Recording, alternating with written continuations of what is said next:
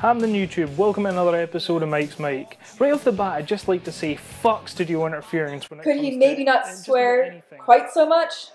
Right off the bat, I'd just like to say screw studio interference when it comes to almost every filmmaking decision made within the last decade. That's a really negative thing to start this off with.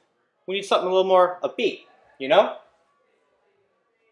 I'd like to talk today about studio interference and the effect that has on the current film industry, be it from terrible decisions made to appeal to the wrong crowd, What? the insertion of nostalgic elements to bring back older fans, or the salvaging of what might have been an otherwise forgettable movie. Studio interference is something that has been happening for a long time. But that's not the real subject of this video. Can we make him look cooler? You know, maybe add some of those gamer glasses? The real subject of this video is filmmaking by committee.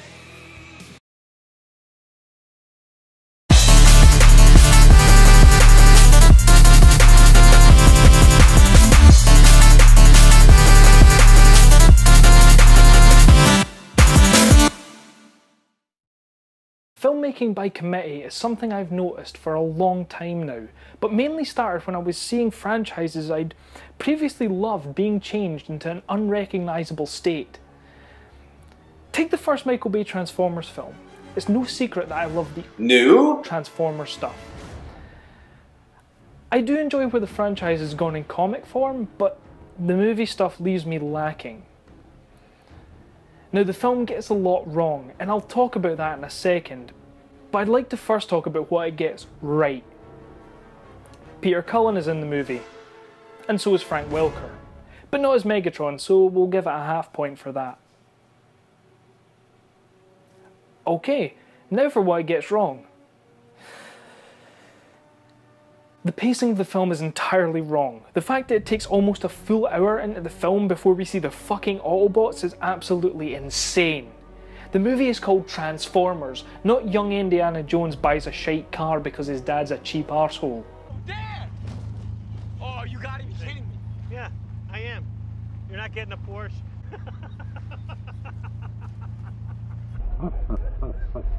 I've no idea whose idea this was, but it was ridiculous. Not to mention the completely bizarre subplot where Josh Duhamel is a soldier and his wife and infant daughter are worried sick about him, and he looks like he's dead to them, but really he's out fighting in the desert, and he may have tried to call them. Who knows? It's never once resolved. It's just a band of generic soldiers of various minorities all walking around and making shit jokes. Pocket! Black pocket! Ten pocket! Left cheek! Left cheek! The hell is this doing in a Transformers movie? It's for the Call of Duty kids. Uh, you remember how popular that was? We needed that for this movie. And why do we have Megan Fox in this film? And why do we have Megan Fox in any film for that matter? The sex appeal. Sex sells. But the film is designed to sell toys. Your entire audience for this should care more about talking trucks than a walking pair of assets. Right from there, without going any further, we have three distinct audiences this film is for. We've got COD kids, we've got horny perverts, and small kids. Anyone who argues that the movie isn't for kids needs to explain to me why the toys for such a movie are aimed at children. Sorry, look. I'm getting way ahead of myself. Transformers isn't even the worst offender here. Teenage Mutant Ninja Turtles has a lot to answer for. Remember the original 90s live action Turtles movie? It took a drastic change from the cartoon many of us grew up with and stayed truer to the original Mirage comics. It was darker and grittier than what we were used to, and it still holds up today despite being a different take than what many of us at the time were expecting. Compare that to the recent Michael Bay produced offerings, and what do you have? Oh. Why the fuck is there a Transformer in this movie? The turtles come across as creepy and very socially awkward, which makes sense to a degree, but they always had each other to bounce off of. You know, they had a lot more chemistry in the original variations. Once again, the recent IDW comics are a great addition to the Turtles multiverse, but then your live action counterparts fall short. Why is Michelangelo being a creep? I mean, he kind of was in the original, but it was almost endearing. Can we keep her? I'm not even going to mention Megan Fox being in this movie. The film is completely forgettable, but its sequel and the Transformers sequels do something much worse. They play off of nostalgia. We've got to bring the fans back somehow. I wanted to see Bebop and Rocksteady, two of the most iconic villains from the Teenage Mutant Ninja Turtles, live and on the big screen. I've waited most of my life to see that. Them being included doesn't make the film any better, sadly. It just dilutes the original characters for me. Same thing happened and is continuing to happen in the Bayformers. We keep adding original Generation 1 Transformers to the live action franchise when the two have no business sharing any similarities. Bumblebee? Aside from being yellow, the two characters are nothing alike. Optimus himself is murdering people left, right, and centre. No, Optimus! You got the touch! We have Ironhide, another trigger happy idiot.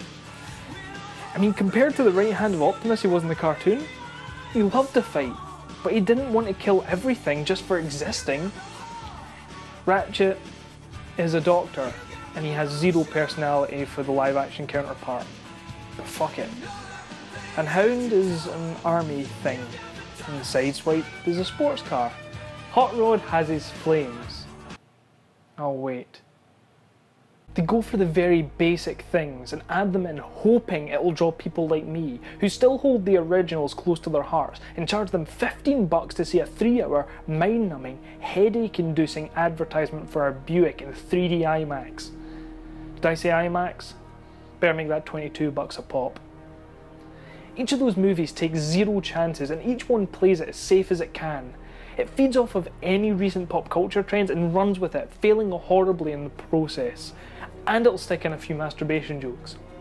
For the kids. You can call it Sam's Happy Time or Happy My Time. Special Alone Time. And look at Suicide Squad, to pick on someone other than Michael Bay for a minute.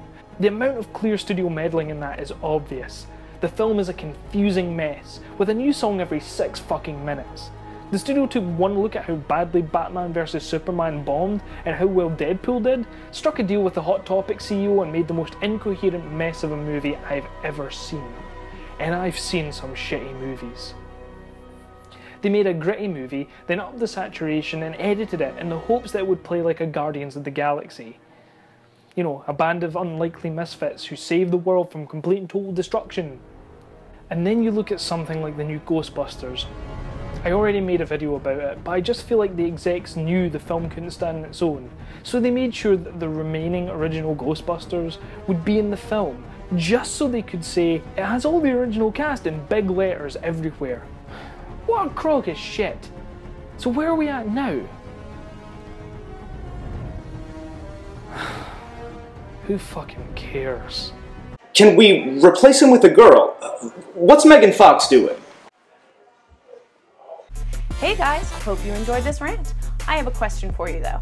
Which movie do you think suffered the most from studio interference or filmmaking by committee? Let me know in the comments. Till then, I'm Mike. This is MiQ's Mic. I'll catch y'all later.